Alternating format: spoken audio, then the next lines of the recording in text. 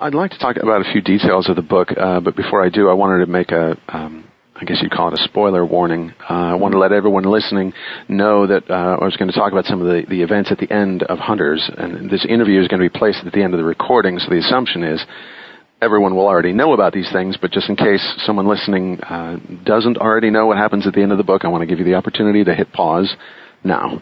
Run away. Exactly.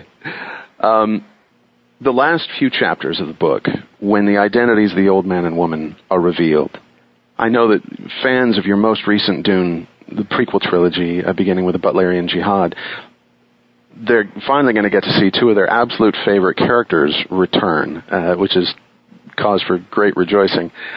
Uh, Omnius and Erasmus really serve as the bridge between the two eras, you know, the Butlerian Jihad and the current timeline. Um, I was wondering if you could tell us how that came about. Uh, at what point did you realize that these two couples, these these essentially four characters, were indeed two characters that they that they were the same? Well, this is where Omnius and Erasmus are actually characters that Kevin and I created, um, and they were not based on any any notes that we found of, of Frank Herbert's at all. But we combined those two characters that we created that we and and these are concepts. Um, it was a story concept that we threaded in, knowing we were heading for Hunters of Dune and Sandworms. We combined what we added, um, our, our own concept to Frank Herbert's overview, and Frank Herbert's overview then is where we immerse these these two characters.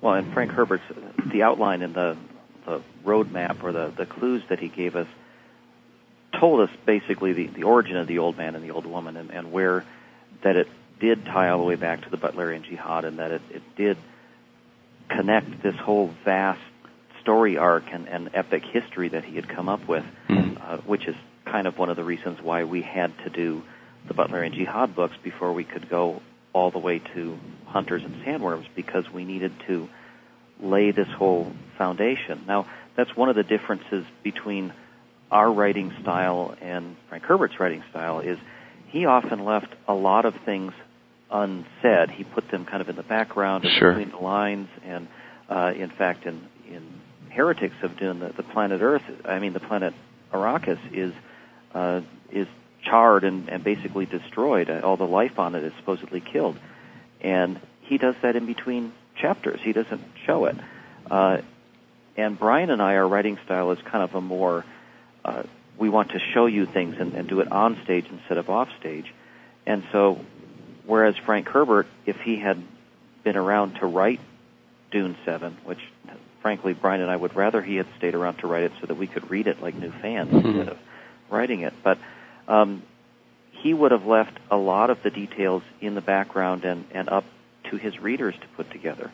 And we kind of like to show everything instead. And that's why we wanted to build this whole history always knowing where it was going because we kind of joked at our book signings and our talks that once we found the outline that we knew what the secret was, but we weren't going to tell anybody else for, for a couple well, of years. and, and it's kind of interesting because the, the fans are actually part of the creative process in a sense. They've inspired us. I remember Kevin and I were giving a talk. I think it was in Santa Cruz, California, and I, I said to, I, I turned and said to Kevin in front of the audience, wouldn't it be great to start Hunters of Dune with a scene of the destruction of Arrakis, um, which would be a backstory, you know, from from the end of Frank Herbert's books.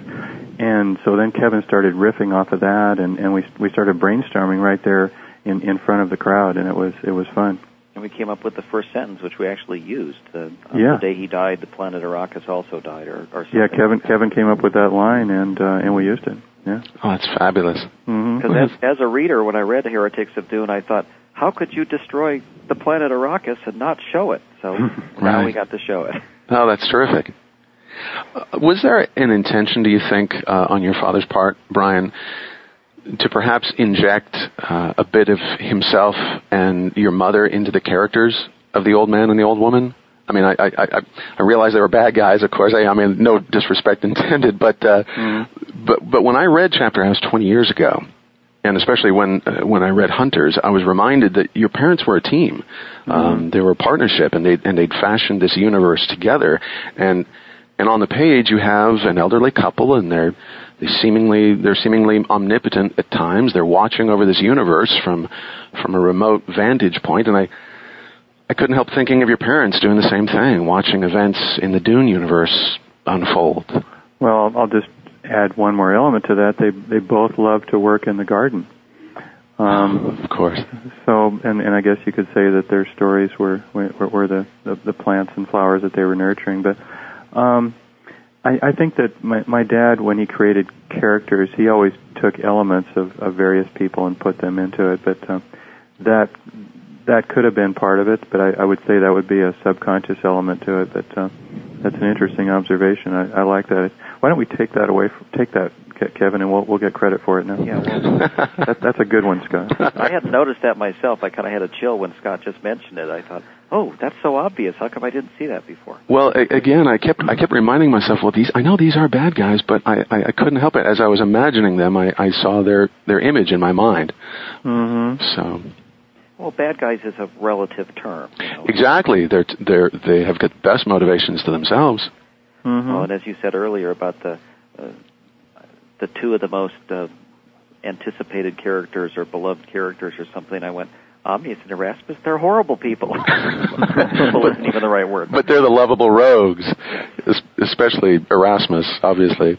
I, Yeah. I think he's probably the best character that we've created in all of these books. I just we and, love and you know, you know, uh, Erasmus is, is a concept of Kevin's, and then he had me, um, and then I said, well, why don't we add like a Joseph Mengele uh, aspect to his character? That's the Nazi Doctor of Death, and then. And Kevin said to me, "Well, that sounds really sick, Brian. Maybe you'd better write the, the first draft on that one." But, but he was definitely a, a composite uh, between Kevin and me. Well, we kind of fight over who got to write those chapters. I think we split them half and half just because they're so much fun. Mm-hmm. I remember years ago being in a, a, science fiction literature class, as a matter of fact, uh, back at UCLA, and the professor said that the definition of a great character is when the readers wonder what happens to him or her after the last page is turned. You know, they wonder what is you know what is Erasmus doing now, and uh, he definitely fits that criteria. I think all of the fans have been curious what's what's been going on since the end of uh, the Battle of Corrin. The, the irascible Erasmus. There's a um, there's a long, proud tradition in the Dune novels, and um, I'm speaking of the the tradition of cloning great characters. Uh, Duncan Idaho, especially, he's permeated this entire series since the first ghola Hayt was was uh, uh, brought out of the incubation tanks. Um, wondering how that happened originally. I, I'm not clear about how how he wound up becoming part of the series again. Was it a case of Duncan being one of Frank's favorite characters and he wanted him back, or did the fans just get really vocal and Well, have you seen the movie Misery or the read Stephen King's book? sure? Um, the, the the fan doesn't want the character to be killed off. Right. And basically the same thing happened to Dad, except that he wasn't taken prisoner. Um, he got a deluge of fan letters saying, "How could you kill Duncan Idaho off? He's the you know we like him even better than Paul Atreides or as much." And and so Dad figured out a way to bring him back and. I guess he went to the old concept of a of a golem and changed it into a ghola, and then added the cloning element, except it was dead cells instead of live cells, and voila, we have Duncan Idaho again.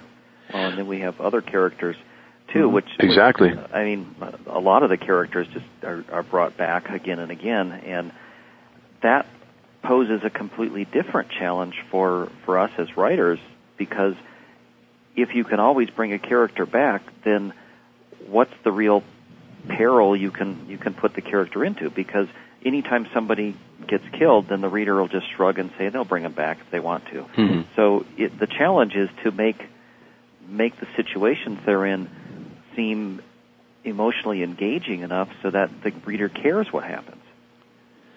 Well, absolutely. I mean, uh, I can't remember how many times, you know, the God Emperor squished Duncan Idaho. Um, Well, we, we also had that challenge on a on a on a on a big scale of story arcs when we wrote our prequels because everybody knows generally where the prequels are going to end and how do we get there in a- an inter- interesting way. sure. Yet, you know, these the Ghola characters still seem every every incarnation still seems unique, and there's still obviously room for growth. They still have their own arc. well, Um, they have some unpredictable elements to them with that Frank Herbert put in there, and that's that's always good. Thank you both very much for the time. Thank you for Okay. uh, being so generous and for uh, joining us here today. Okay, Scott. Thank you. Thank you, Scott. Thanks, Brian. Thanks, Scott.